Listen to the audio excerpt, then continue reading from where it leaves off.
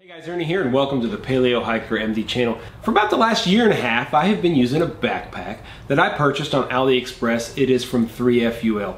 This is by far the number one requested item for me to review here on the channel and finally today we're going to do it. Been using it for like the last year and a half. I think I've taken five trips with it and I finally feel comfortable giving you a full review. Stay tuned and we're going to check out the 3FUL backpack. Thanks for watching.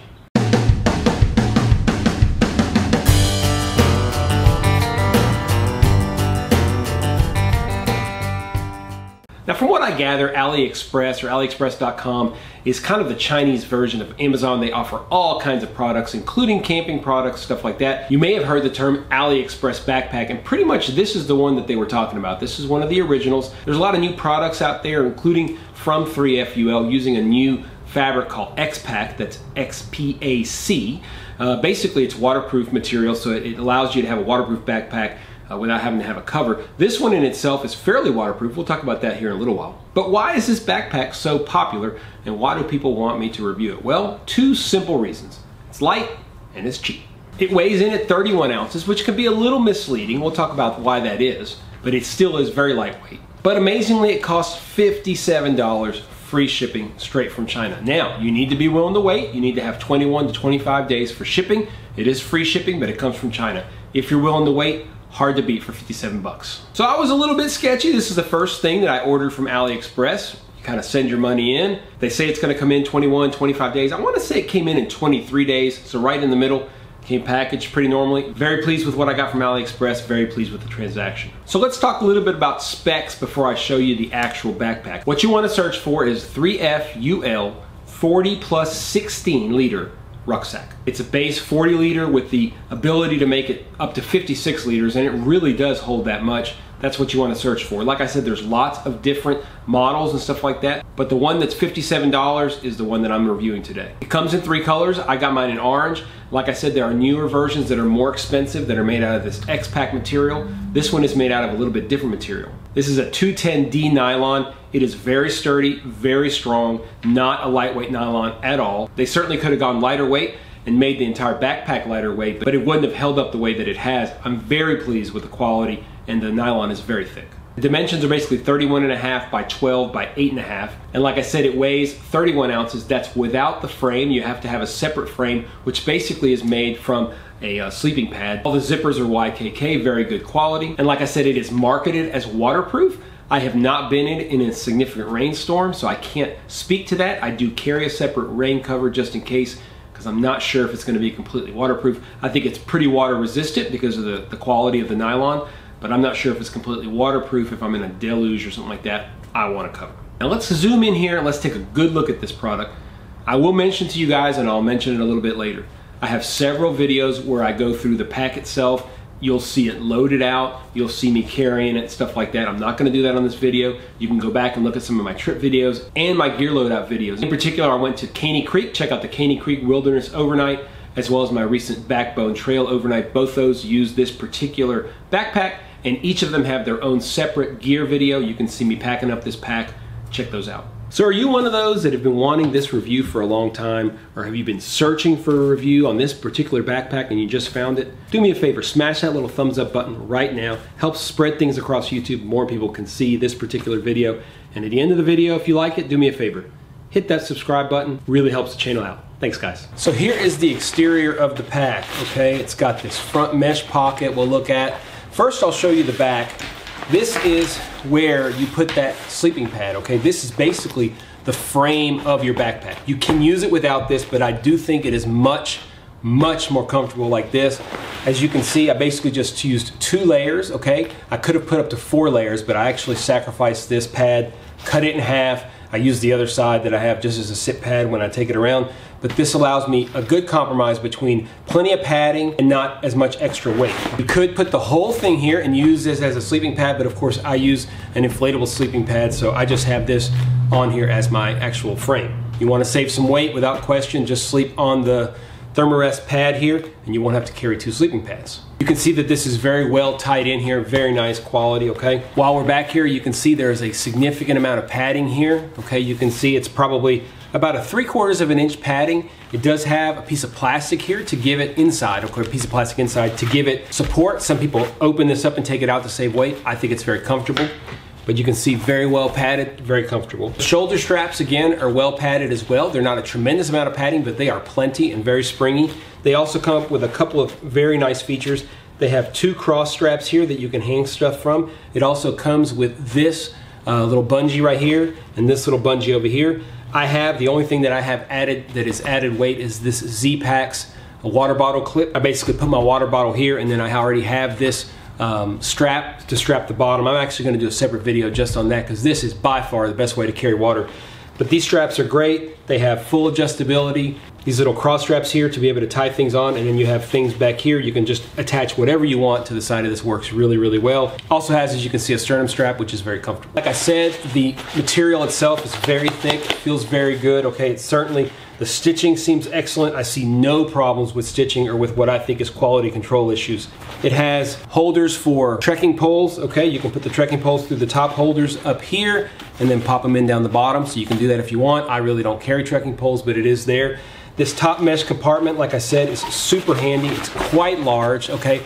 I put all the things that I want easy access to out here. Uh, gloves, hat if it's cold. I'll put my food and my cook kit outside if I know that I'm gonna be stopping and eating before setting up camp, etc. Absolutely love this mesh compartment and you can strap it down very well with these lashings on top. These lashings themselves, once this is full, you can put things underneath the lashings. If you've got a piece of wet clothing or whatever, you can just stuff it in here. Lots of options for storage on the outside of this pack. These side pockets are awesome, guys. They are huge. I just want to show you guys real quick how big they are.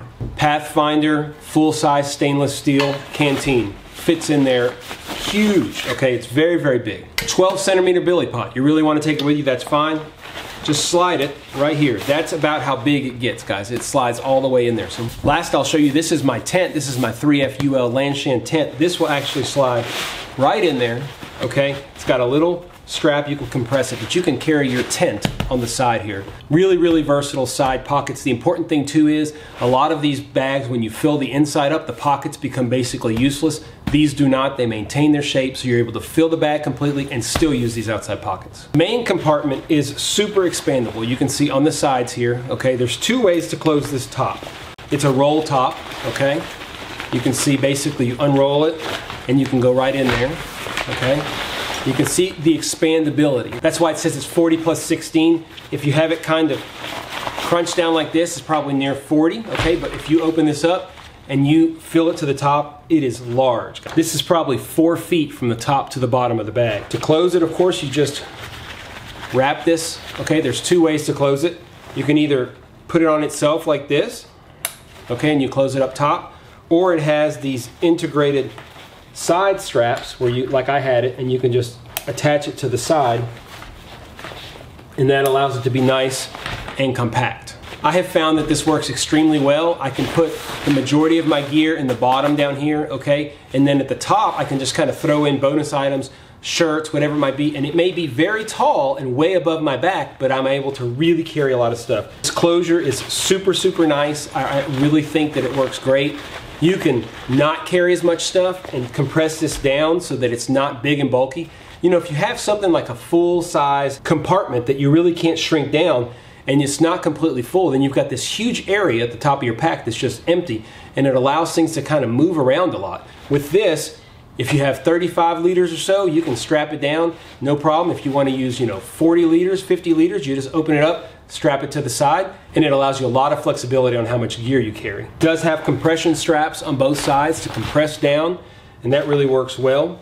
It's got full adjustability at the top here to make sure that your load rides the way you want it to ride. It has straps up top, and like I said, it has integrated straps up in here to allow you to make changes to the ride height here and up top. One other thing that's very nice, if you can see it, it's got an extra strap that comes across here and you can buckle in. This basically goes over the top, okay, of the top of your pack. So you can put like a sleeping bag or something, or if you want to keep something dry, you can put it at the very top of this, extend it all the way out, and you still have tons and tons of strap here. So this goes, as you can see, way, if I can show you, way out here. You can strap something really large, like a bear canister, for example, would be perfect to the top of this, and it won't take up room.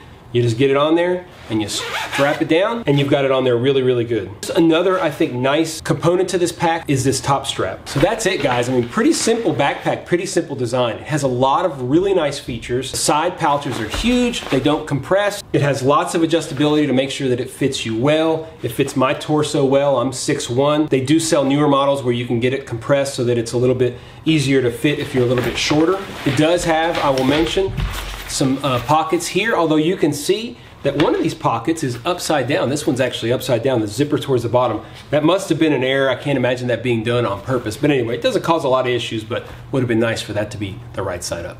So what have been my experience with this pack so far? Like I said, I've taken it on five overnight trips. I've averaged somewhere around 16 to 23, 24 pounds of weight, depending on how much water I was carrying, and I've had no issues carrying that amount of weight. I think it's a perfect pack for that. Honestly, I've never felt uncomfortable wearing it.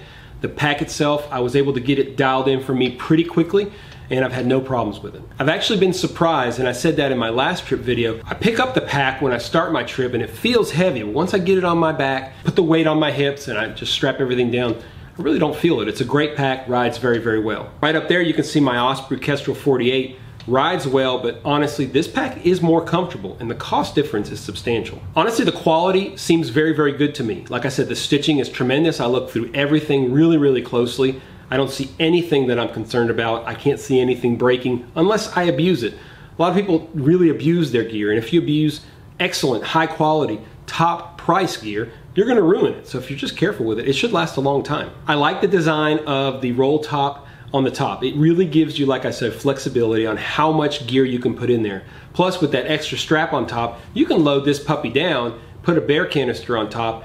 It's gonna be really tall and it's, you're gonna have to watch what you go underneath, but you're gonna carry things very well and very conveniently. Like I said, the outside mesh pocket is awesome.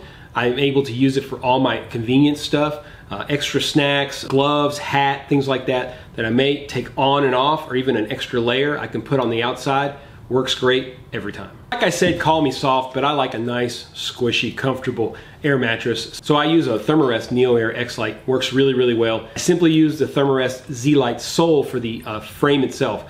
Now, like I said, a lot of people will use the entire uh, pad for it. I did on my first trip, but I was able to trim off quite a bit of weight by cutting down the actual pad. Like you saw, I just had two layers.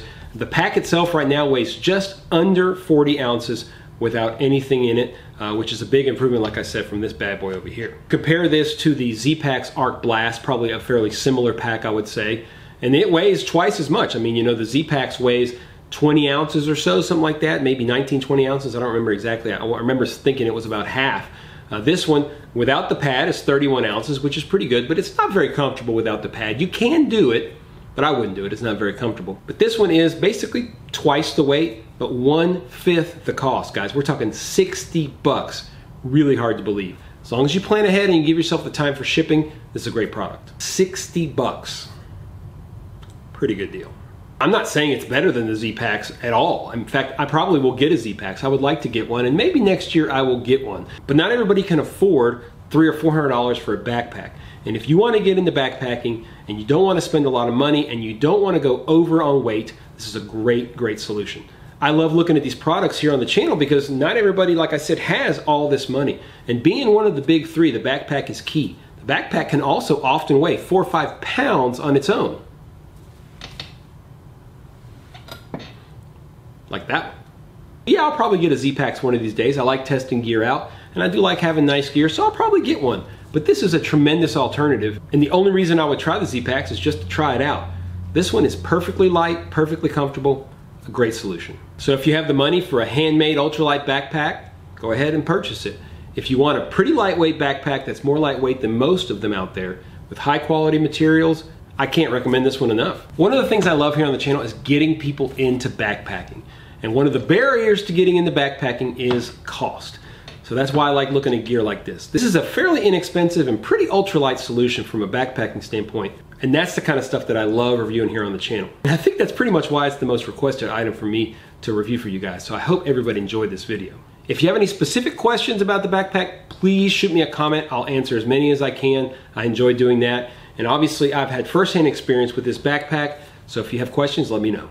I've liked this one so much that I certainly see no reason why another one wouldn't perform just as well. I think it would be awesome to get one that is completely waterproof from the X-Pac material. So if any of you guys have used one of the X-Pacs or have one, make sure you leave a comment down below. I've searched, I have not seen really any reviews on the X-Pac material, so let me know. So did you like this video? Are you one of those that has been waiting to see a video on this particular backpack and you finally got it? Well, do me a favor hit the thumbs up down below helps spread things across YouTube and if you like this video and want to watch more videos like it soon click the subscribe button. Really helps the channel out guys. And if you're feeling a little extra crazy today you want to make sure that you know when I post videos. Hit the little ding dong bell. You'll be the first to know. As always guys I appreciate the support here on the channel. Having lots of fun making videos for y'all and testing out new gear. Got a little box of new goodies today which I'm pretty excited about. Lots of stove stuff coming up and lots of baking stuff dry baking stuff like that. Getting kind of into that Got some new gear coming in, gonna check it out, so stay tuned for videos on that. As always, guys, I really appreciate your support. Stay tuned for more videos here on Paleo Hiker MD.